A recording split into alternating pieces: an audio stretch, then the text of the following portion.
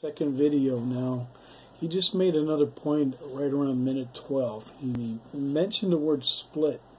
Now, this has been, and his, he got that, I think he just said from 2000. Now, I'm guessing, um, it's in my book notes, but it's around, I'm guessing 2014, maybe even earlier, 2015, 16, but I'm guessing it's earlier.